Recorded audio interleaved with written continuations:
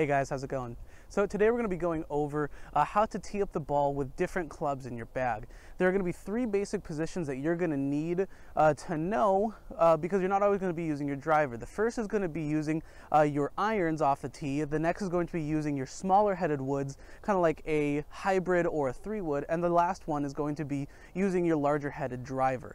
Uh, now, to understand why these are going to be different, uh, different heights, there are two basic principles that you need to know about teeing up the ball. The first is that the main reason that you're going to want to tee up the ball is to just have a clear and consistent contact with the ball because if you're teeing it up on the if you're just setting the ball on the ground uh, you might have to deal with different lies sometimes it's going to be a little bit longer grass so teeing up the ball is going to have a clear contact with the ball every single time and second, it's also to help get the ball up, the, up off the ground because the higher you have the ball, the easier it is to let the club get underneath the ball. So with the first position, I'm going to be using uh, an 8 iron here and you're going to want to set up the ball with a tee. You can use any length of tee. Sometimes they have, uh, there are short iron tees that you can use specifically for using an iron. Uh, I'm just using a regular longer tee just for sake of ease here. Um, and what you're going to want to do is have the ball be all the way almost touching the ground but not quite. It's going to be maybe a fraction of an inch above the ground.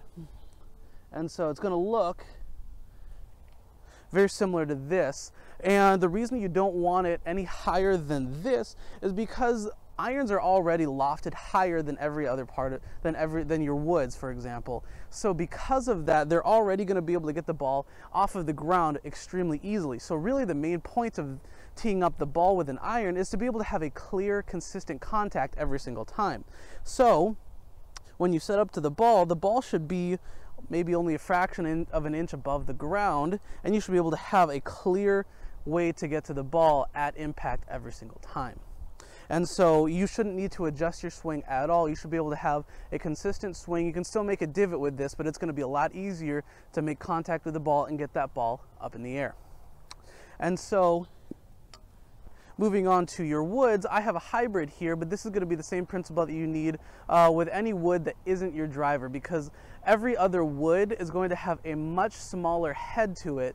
And so the reason for this is that you want to tee up the ball just a little bit higher than what your irons were. Now a good rule of thumb starting with your woods is that the ball should be maybe about half a ball half of the ball should be above your, your club head. So what I mean is that when I set up the, the club here, about half of the ball should be sticking up above the club and that's going to give you a clear consistent shot underneath and it's also going to let the club get up underneath the ball when at impact. And so because uh, all the different woods have different heights, uh, hybrids are sometimes a little bit smaller headed than uh, maybe a five wood or a three wood, uh, that's just gonna be a good rule of thumb that you can apply to any of your clubs. So as you set up, that ball's gonna be a little bit higher than your iron, and you should be able to get underneath the ball because uh, the hybrids and your woods are not nearly as lofted as your irons, but they still have a little bit more loft than your driver. So they're able to get up off the ground even easier than, your, than what your normally your driver would be. So as you set up, notice that the ball is about halfway above my club, and that's gonna give me a good, clear, consistent impact every single time when I tee up the ball.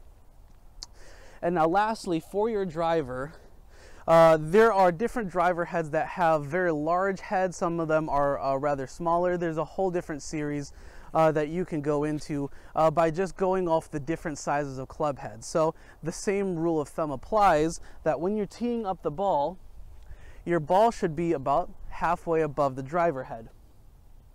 So for me, because I have a little bit larger of a club head, it's going to be a little bit higher than maybe some others. So when I set up, that ball should be a lot higher than what you would have for your irons and even my hybrid. And that's going to be sticking up about halfway above the driver head.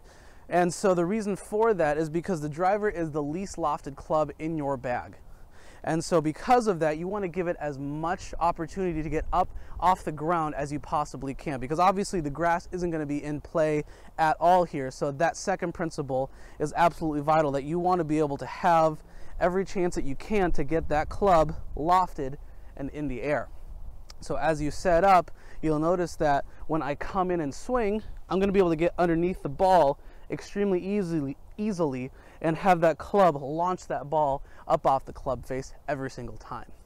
So with every single one of your clubs, you can play around with how much you like to uh, tee it up, especially with your irons. There's a lot of wiggle room there. You can tee it up a little bit higher, a little bit lower.